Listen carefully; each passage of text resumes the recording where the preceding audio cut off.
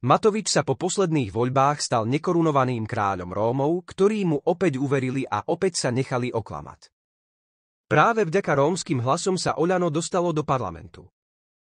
Rómovia v osadách volili Matoviča, ktorý rodinám pomáhal. Kadžovia v dedinách Fica, ktorý rodiny 12 rokov okrádal. No a teraz, že komu to lepšie myslí? Rómovia nás vo veľkom volili aj v roku 2020, hoci sme nevládli. Vedeli, že nám úprimne záleží na tom, aby sa ich deti mohli chytiť v živote rovnako ako ich belší rovesníci. Vedeli, že nám úprimne záleží na tom, aby ich rodičia mali prácu a miesto poberateľov dávok boli prispievatelia do sociálneho systému. Vedeli, že jediný máme Rómov v parlamente aj v Európskom parlamente. A potom počas našich vlád aj reálne pocítili pomoc a veľmi si to vážili. Áno, pre niekoho z Bratislavy je euro denne vyšší prídavok na dieťa smiešnosť. Pre chudobné dieťa je to mimoriadná pomoc.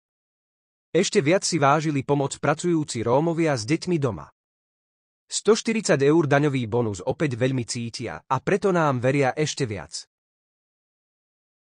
Áno, veria nám a volia nás Rómovia a nehambím sa za to. Nerozlišujem medzi ľuďmi podľa jazyka, ktorým ich mama naučila hovoriť.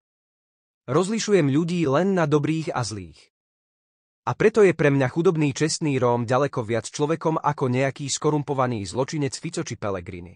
A preto budem za poctivých Rómov bojovať a proti zločincom tiež.